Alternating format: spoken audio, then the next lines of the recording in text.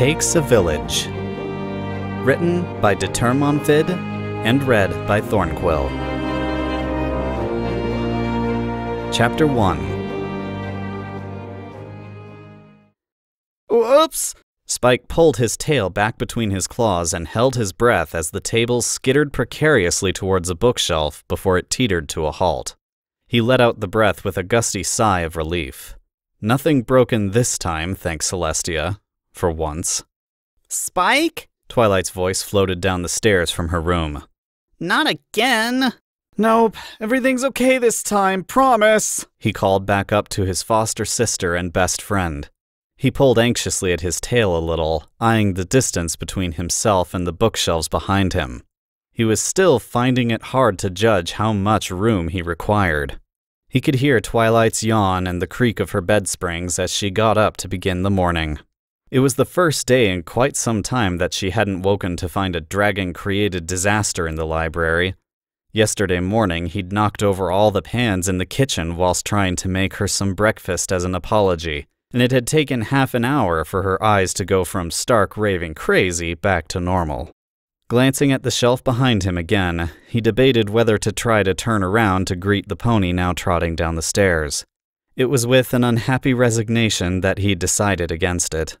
He'd had too many successive disappointments when it came to his clumsiness lately, and it would surely be a nice surprise for Twilight to enter a catastrophe free zone for once. He crouched down on the library floor, still holding his tail in with one claw, and tried to bunch himself up as tightly as possible. Morning. Twilight mumbled as she squeezed past him. Morning, he mumbled back, his eyes darting to the table and then to the floor. She followed the glance to the table, and her lips quirked wryly. Ah, she said dryly. Well, it's better than the pans at least. I'm sorry, he said meekly, and she rubbed a hoof on his head. Shh, she soothed. Twilight, Spike began, but she shook her head. Just Spike, it's okay. It's not your fault. Just. It's fine, okay?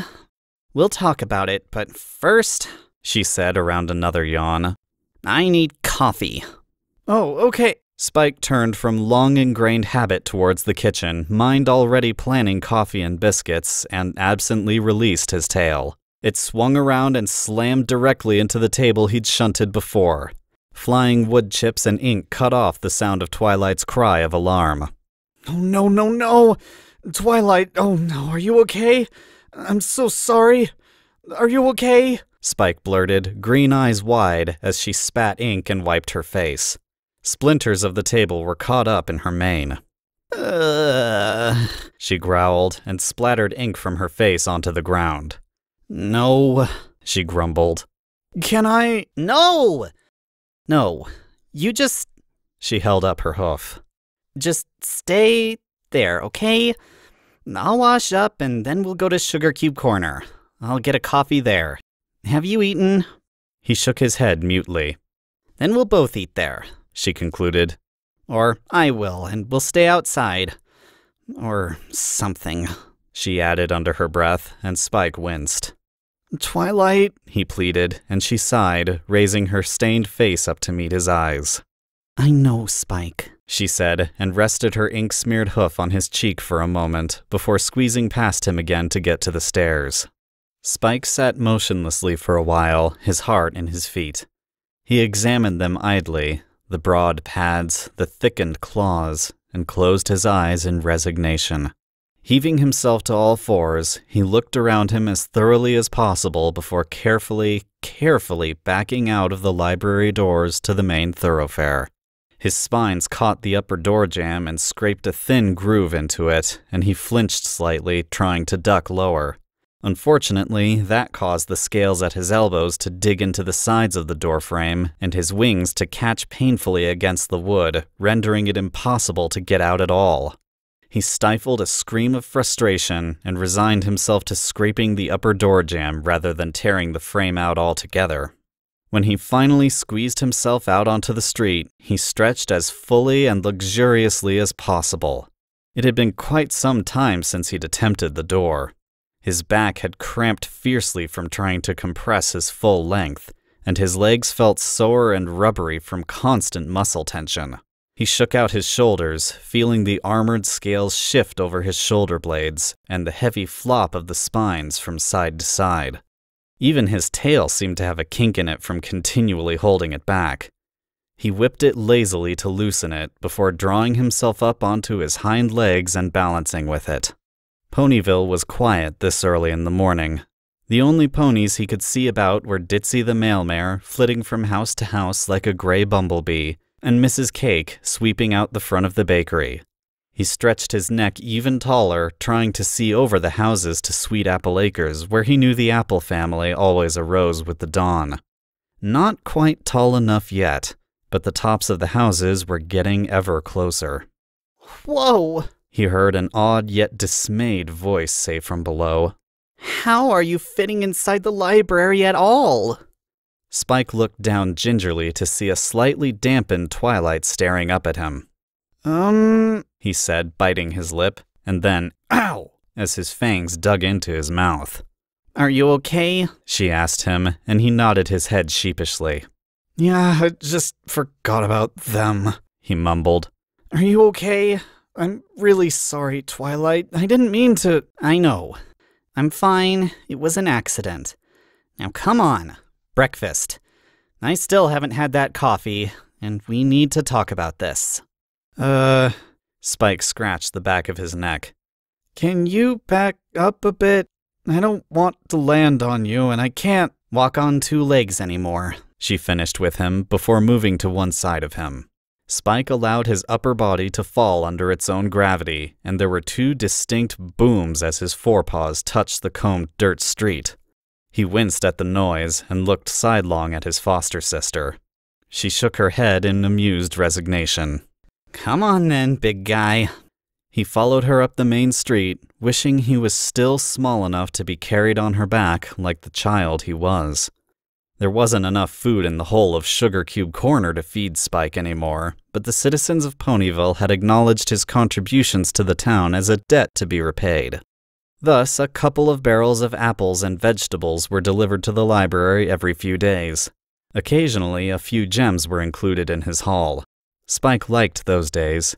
The whole arrangement made him feel inexpressibly guilty about taking food from the village, but Twilight had put her hoof down.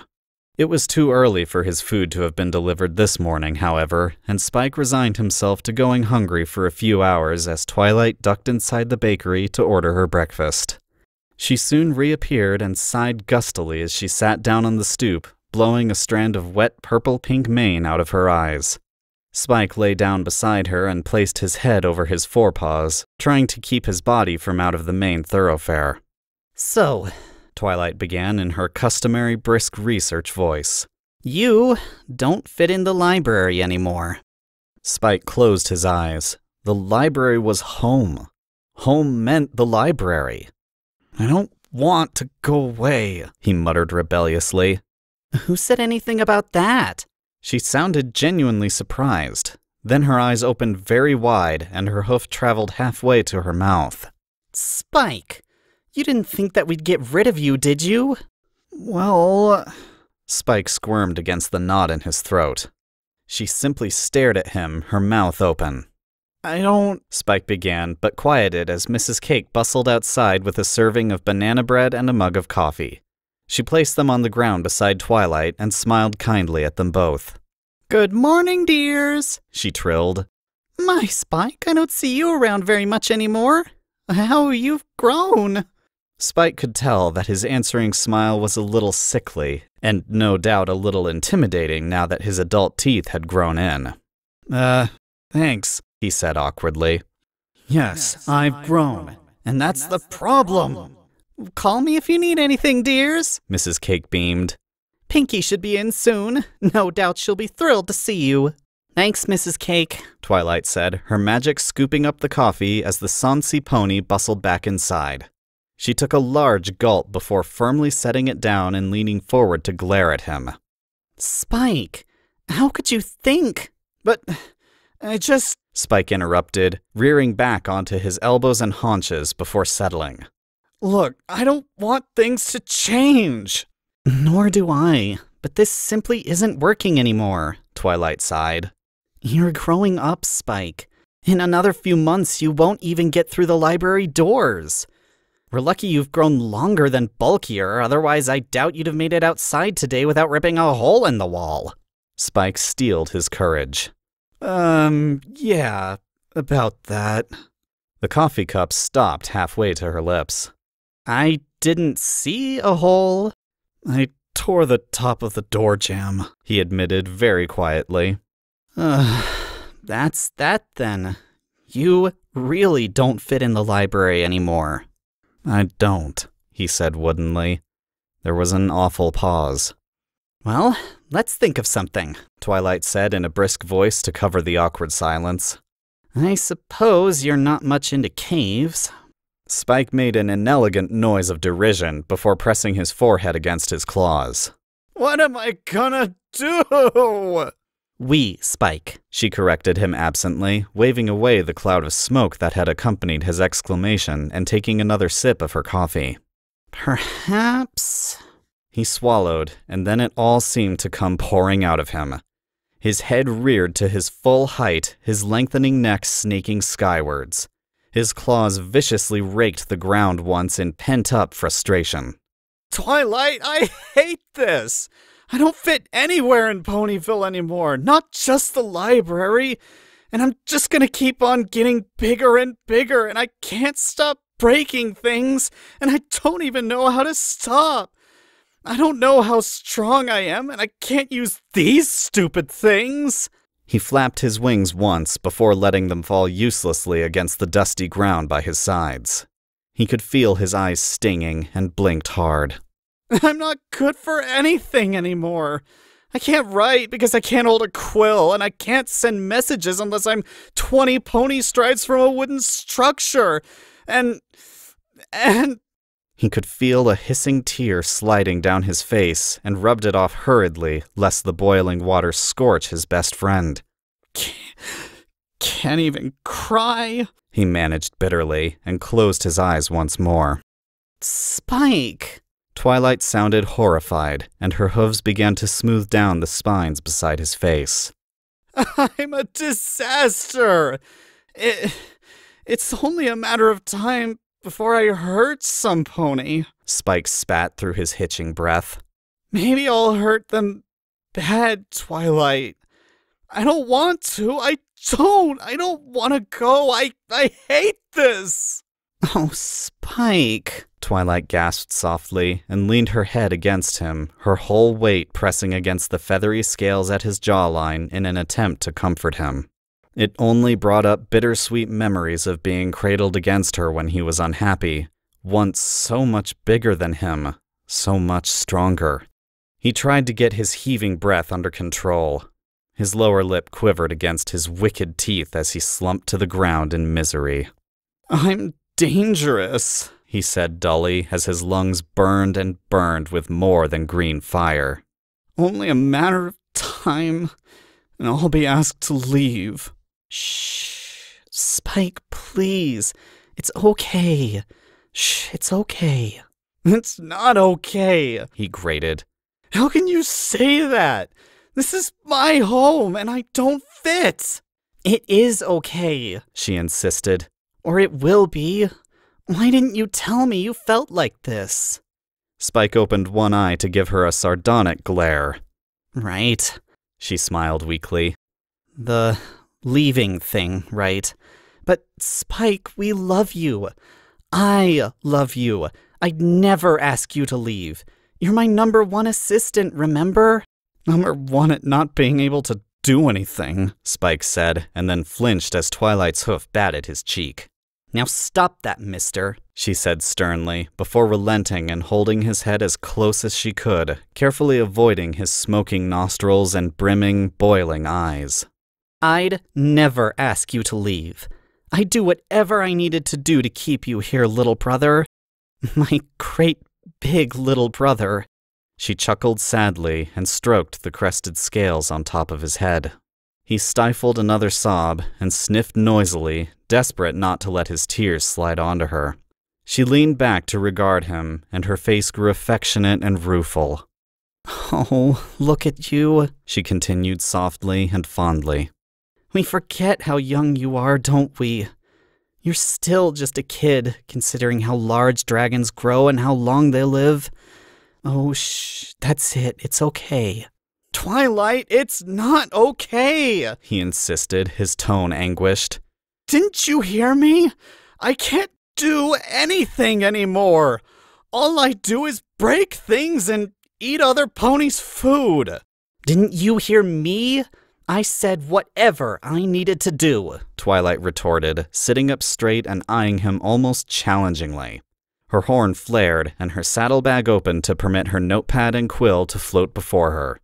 She gnawed at her lip for a moment before nodding. What are you? Spike began, but Twilight was already beginning to write. First things first, she said in a businesslike tone, though her eyes were a little too shiny for it to be convincing. And it'd have to be near the library. We've got nothing behind the tree, so that's a start. You're likely to end up roughly five times the size you are now, and that's not including wingspan or your adult tail length. Oh, let's see. Room enough to turn around? Mmm. Yes, that field's easily big enough. What is? Big enough for what? Spike asked, bemused. His unhappiness was still twisting in his belly and shrieking in his ears, but Twilight's behavior was throwing him utterly off balance. We'll make you a house, she said matter of factly.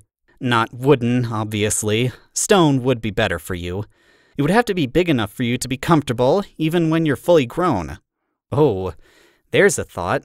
What if you decide to have a hoard one day? Or a mate? Hmm, nope, better be twice that size.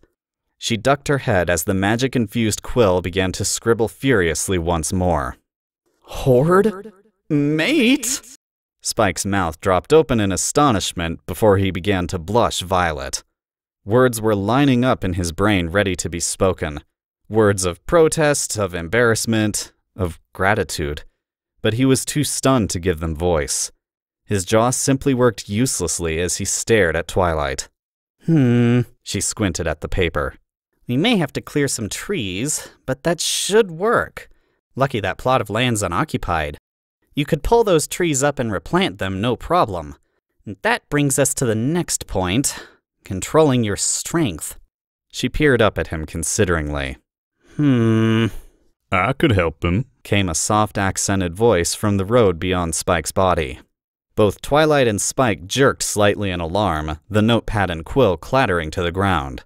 Their heads whipped around to see Big Macintosh hitched to his hefty wagon.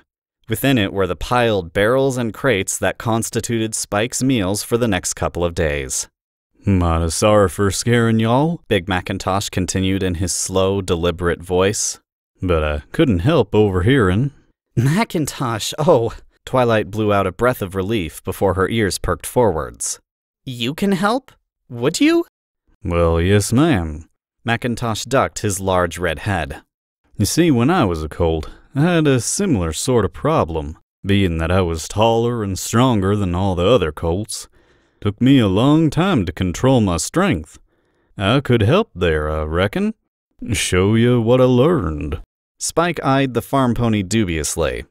I'm a whole bunch bigger and stronger than you already, he said doubtfully, and Macintosh snorted. Hmm, you ain't more stubborn, though. That's a given. You're related to Applejack, Spike said. All these shocks were making him blunt, he realized dimly. Twilight tisked even as she lifted a hoof to cover her smile. Manners, mister, she scolded before her face grew serious. It's up to you, Spike. Your decision. Spike looked at her helplessly, his eyes darting between them. Um, he managed. Ooh, ooh, I can help too. I can, I can, I, oh, wow. Pinkie Pie had abruptly appeared behind the cart and just as abruptly tripped over her hooves. She tumbled awkwardly to land in a candy floss pile at Spike's feet, her legs an interestingly complicated jumble. What am I helping with? She asked dazedly. Uh, Pinkie, Twilight began as Spike tried to prop the party pony up again. His forepaw pushed too fast, and she sat back on her rump heavily. Hi, Twilight. Hi, Spike. She beamed from within another complicated tangle of pink limbs as Spike began to splutter apologies. You see, you're moving too fast, Macintosh said critically. Can't do that when you got some size on yer. Gotta move slow and steady. Give all these lil folk time to see you comin'. Spike glanced over at the stallion and nodded despite himself. Then he reached out his foreleg and very, very slowly pushed Pinkie back onto her feet. There now, Macintosh said with quiet satisfaction. Spike looked at his forepaw, at the long, curved claws and the large pads, and then at the knowingly grinning Pinkie Pie. Huh, he said blankly. So that's a yes? Twilight pressed him, and Spike swallowed before simply nodding once more. She gave him her most brilliant smile before the notepad and quill floated before her again. So, for strength training, Big Macintosh. Sundays okay? She smiled her thanks at the red pony, who gave his slow smile back as he began to unhitch himself from his wagon. Yep, Sunday morning be fine with me, Miss Twilight. Spike cleared his throat. A pony he barely knew was offering to help him after all. A vast sense of stunned amazement was beginning to overwhelm him like a new dawn. Thank you. Thank you. I wouldn't be thanking me just yet, Big Macintosh drawled, his smile still in place. Y'all gonna be working mighty hard to get yourself under control, same as I did. But you'll get there. The large farm pony nodded approvingly. Twilight frowned at her list.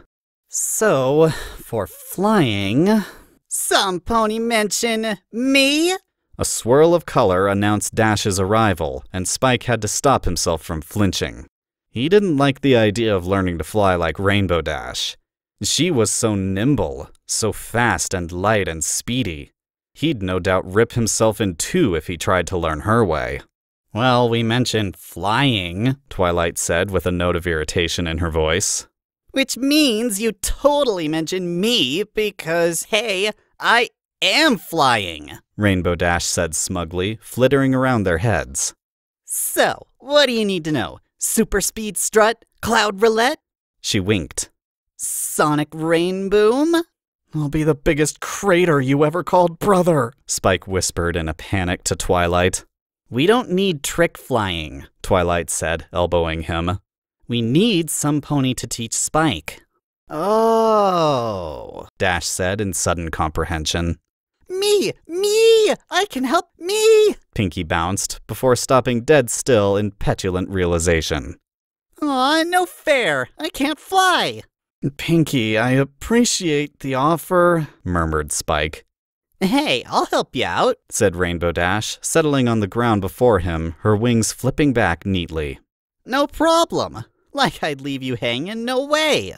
I. Spike gulped. I can't do all the stuff you can, Rainbow Dash. So, can you just teach me to fly? No trick stuff? I mean, I'd make a really big mess if I hit the ground, so. You got it, she grinned. Easy peasy kitty stuff, I promise. Nothing like the crazy stuff you teach Scootaloo? Cross my heart and hope to fly, Rainbow Dash said solemnly.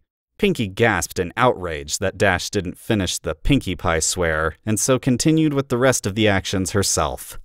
Oh, you're gonna love it! Just you wait. When you're up there, the wind in your mane, the current under your wings, the whole sky yours to own. But Spike doesn't have a mane. Pinkie tipped her head, squinting at him. Oh, uh, hello, Spike, came a soft, nervous little voice, and Fluttershy inched tentatively beyond his body to see the rest of the collected ponies. Oh, oh, I see. I'm, I'm so sorry. I don't mean to interrupt. I'll just be. No! Fluttershy, wait! Twilight suddenly squawked and grabbed her meekest friend. Perfect! Oh, hello there, Twilight. Fluttershy squeaked as her breath was entirely cut off. Fluttershy, you've got that stare and you've had experience with dragons before. Oh, you can be the one to help Spike with his flame. Twilight rejoiced, hugging the shy Pegasus even tighter. Fluttershy meeped. Twilight, I can already flame, Spike protested, confused. I've been able to flame since I was hatched. But Fluttershy can help you refine it. Twilight turned to him. You see? Knowing how much to use and when, you've always given it your all. But now you don't need to, and it's become a problem, so. Ta da! Fluttershy! Spike cocked his head. I don't think she likes the idea all that much, he said dryly. Fluttershy was trembling violently in Twilight's stranglehold. Fire! She managed in a tiny voice, shaking her head so fast it became a peach colored blur. I hope I'm not being too forward if I suggest something, Big Macintosh ventured. Pinkie furrowed her brow before her face lit up with utter glee. Ooh, me too! No, Pinkie, no party just yet, Spike said impatiently. Go ahead, Mr. Apple. Macintosh looked amused. Hmm, call me Big Macintosh. Hell, everybody else does. How's about Miss Fluttershy takes these firing lessons after I done the strength lessons? You'll be a bit more tired and less likely to produce as much fire, I'm guessing? Well, Spike scrunched up his face. I guess? I don't really know, to be honest. We got two fallow fields out on the farm for you to practice in. No trees or nothing. You stay behind him, you should be safe as houses. And, might I say, AJ'd be a right help on this too. Her aim and concentration when it comes to rope work are second to none, after all. Might be that translates over to dragonfire lessons too. Leastways, the part about hitting targets. That'd be fantastic! Spike exclaimed, that overwhelming sensation beginning to fill him up again. Fluttershy, would you? Would you please? I'll ask Applejack right away. Wow, to be able to control my flame, that'd be. Now he's excited. Twilight shook her head. Boys. Fluttershy had slowly relaxed as Big Macintosh spoke, and she smiled tremulously up at Spike. Well, if Applejack and uh, Mr. Big Macintosh are okay with that, then, well. She ducked her chin and whispered, I'll try. Thank you, Fluttershy. Spike beamed, really beamed down at them. It made Twilight realize how long it had been since she'd seen it. Big Macintosh, everyone, thank you all. Oh, we're not finished yet, she said cheerily, scribbling some more on her notepad. We're not? Rainbow Dash blinked. Twilight, that's flying lessons, strength lessons, fire lessons. Yes, yes, and we're building an enormous stone house too. Twilight dismissed this rather large undertaking somewhat airily. And I'll work out how to spell some quills and parchment larger for him. But we still need to find a way to get him to stop feeling guilty about the food he's eating. oh my gosh, you guys! Pinkie's eyes went huge. I can help! Pinkie. Oh, Celestia, of course! Pinkie! You're a baker and a cook! Twilight skittered over to her most enthusiastic friend. What can you do? Me? Bounce, of course. And she looked at Twilight as though she were the crazy one. Twilight sighed in disappointment. right. Obviously.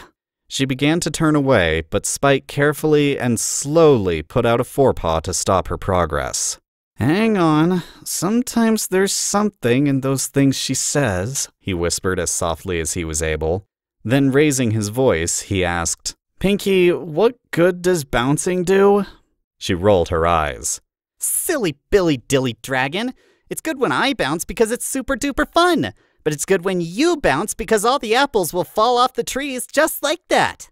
Oh, shoot, she's right, Big Macintosh said in startled surprise. Get him chumping in the orchard and apple bucking seasonal last a day tops. And with your fancy new fire skills, you could roasty toasty them all up. Pinkie shrugged. Big Macintosh choked and then stared up at Spike in amazement. That'd save us three weeks when autumn rolls around, he said in an odd voice. Say what now?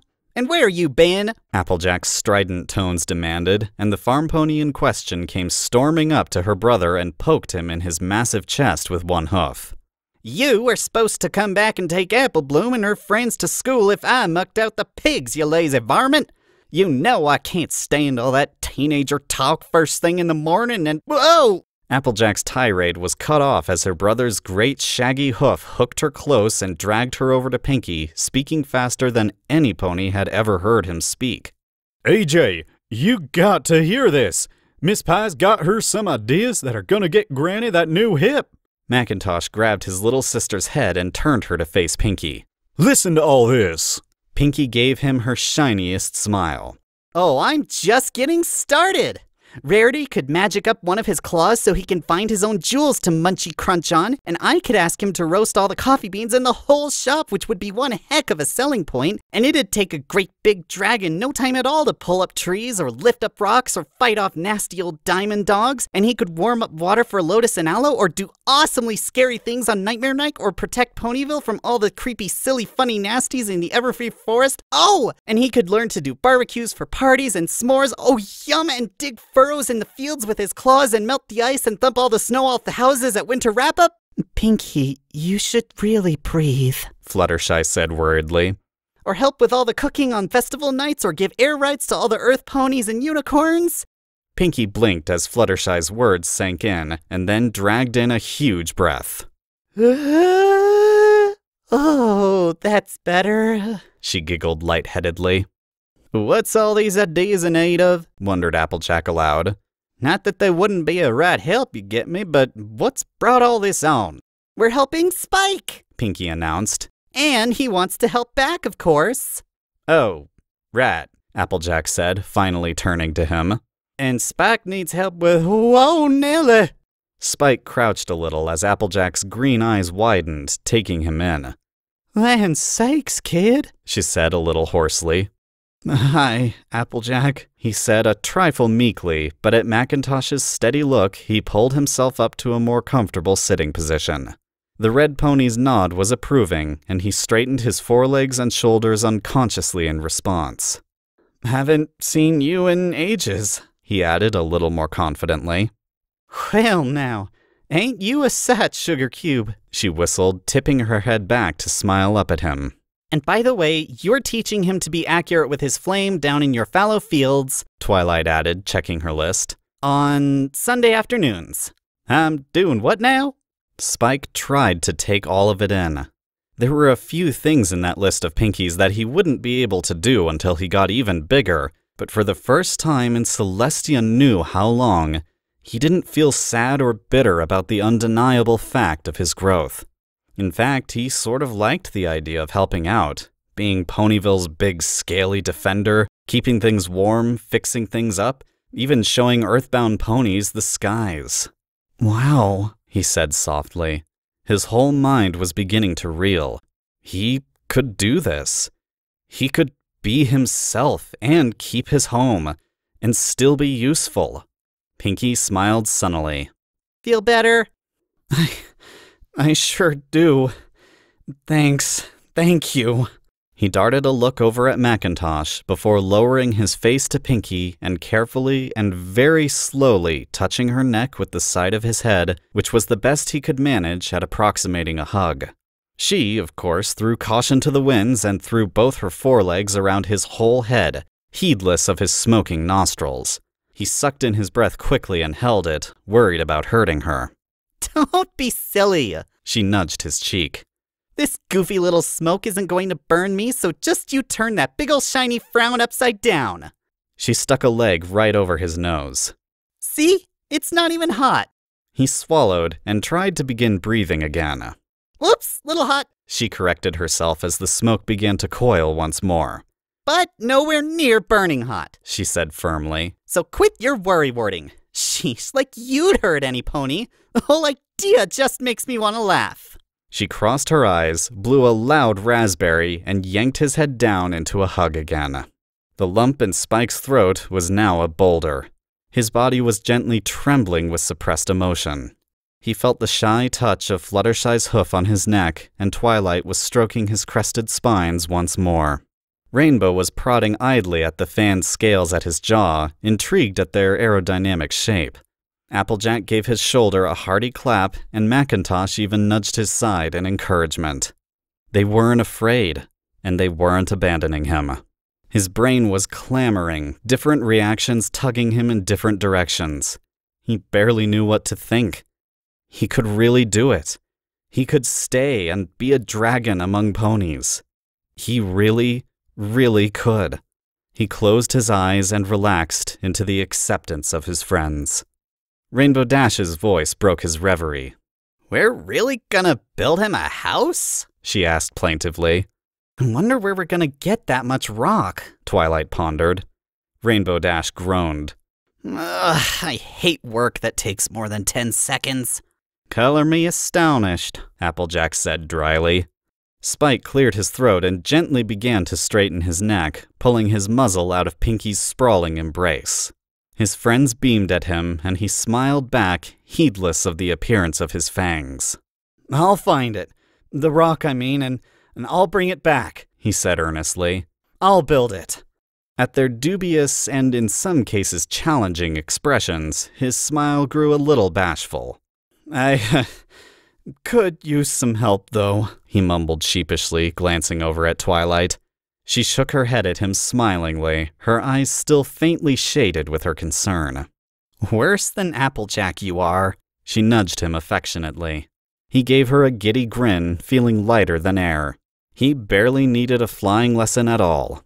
Hey, Pinkie, I really like the idea of enchanting one of my claws to find jewels. You've got so many good ideas. I can't wait to hear the rest. He burbled enthusiastically. She laughed as she began to bounce. Only had to ask. Oh, and wait till you hear my idea for your shed skins. Some pony mentions Spike needing jewels, said a beloved voice. Spike whipped his head around, eyes wide and expectant, to gaze worshipfully and wistfully down at Rarity as she stepped daintily down the street. Why, darling, you should have said they weren't enough. Spike blinked. They? You mean you didn't find them? Rarity's long lashed eyes snapped in annoyance. Oh, if I find some pony's been stealing food from you, food I personally gathered with my very own hooves, and very nobly and very selflessly did not use on my new spring collection for hoity toity, oh, they will rue the day, or they will regret their very existence. They will curse the moment they ever cross the one, the only, Rarity the Unicorn. You left them for me? With my food? Spike was beginning to feel a little dizzy. It was too much. Uh oh, he heard from Pinkie's direction. Twitchy tail, twitchy tail, he's gonna fall! Eh, he's fine, let him, said Dash's voice. We're all on the other side of him now. Spike stared at lovely, tiny Rarity. She was all the way down there. Thanks, he said a little dopily. I really appreciated it. Never knew it was. He slumped to the ground right in the middle of the street. Darling? Oh, the poor dear, it must have simply been too much. I have been known to have that effect. Ahem, on occasion. One of the burdens I must bear. Should we put a wet cloth on his forehead? Or perhaps a wet towel, yes. Rarity's voice sounded rather far away. Here you are, Spike, came Fluttershy's soothing tones, and something cold was laid against his head. Just sleep here. It's nice and warm in the sun. Twilight? He managed, and felt a familiar hoof press his face before a purple blur swam into his vision. I'm here, you silly dragon, her voice said gently. What did I tell you? It's going to be okay. The last thing Spike heard before drifting off into black fuzziness was Applejack demanding, What in the hay has this family never gotten a dragon friend before? And what in the hay have I spent all them years bucking apples when he can do the work of twenty ponies by dancing along with Pinkie Pie? Dear Princess Celestia, sorry for the claw writing, it's Spike. Twilight suggested I try writing a letter to you now that I'm getting used to using a quill again. I've been having a pretty difficult time lately. I haven't seen you for a couple of years, so I don't know if you're aware of how much I've grown. I don't fit in the library anymore. Actually, the only building in Ponyville I can get into now is the barn at Sweet Apple Acres. I'm sorry about the size of the letter. Maybe you can magic it smaller? Anyway, I was getting really sad. I thought that because I was getting so big, I'd have to leave Twilight, Ponyville, and all my friends. I was trying so hard to hide how big I was, and it wasn't working. Wow, you should have seen some of the messes I made in the library. A few days ago, I learned some things about friendship. I learned that a friend is a friend no matter how different, how big or small or scaly or pony shaped they are. I learned that even if you think you're useless, sometimes it takes a friend, or a few, to point out what you can do. And I learned that change doesn't always mean the end of everything. Twilight's helping me with this letter, and I have a stack of quills that she's enlarged for me to use. I have permission to sleep in the square for the moment, but the whole town is interested in helping me build my house behind the library. Tomorrow morning, I have lessons in learning how to control my strength and my fire. Tuesday is my first flying lesson. I'm real nervous about that one. All my friends are helping me, and I'm going to help back as well. There are stumps around the apple orchards I can pull up, and I'm going to try to move the big rock trapping the stream on Horsefall Mountain. I'll donate my fire to the Sunday afternoon picnic in Ponyville Park and donate my shed skins to Rarity. When I learn to fly, I'll take the little fillies and colts on joyrides, and I'll scare away that old cockatrice from the Everfree Forest. I can't do a lot of the things I used to be able to do anymore, but I can do enough of them to get by. Besides, I've got a whole new set of skills to learn, and that's pretty exciting.